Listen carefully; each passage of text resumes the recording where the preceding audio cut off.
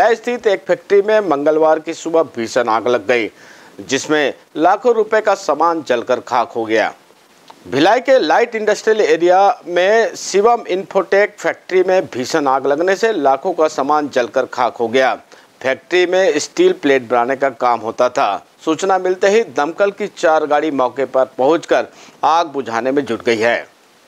आज लगभग साढ़े नौ बजे के आसपास हमें सूचना मिली कि दोनों ज़िले के जामुन थाना अंतर्गत शिवम हाईटेक करके एक कंपनी है, उसमें आग लगी हुई है। तत्काल यहाँ से तीन फायर इंजन को रवाना किया गया। और एक गाड़ी हमने बीएसपी से भी मंगवाया है और एक गाड़ी जे के लक्ष्मी से मंगवाया है।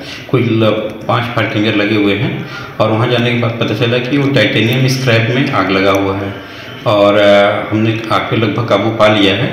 आग लगने के कारण अभी अज्ञात है और बाकी नुकसान कितना हुआ है, वो बाद में पता चलेगा वो फैक्ट्री मालिक से बात करने के बाद कितना उन्होंने स्टोर किया हुआ था न्यू वीडियोस की अपडेट पाने के लिए सब्सक्राइब करें इंडियन न्यूज़ को और बेल आइकन को दबाएँ।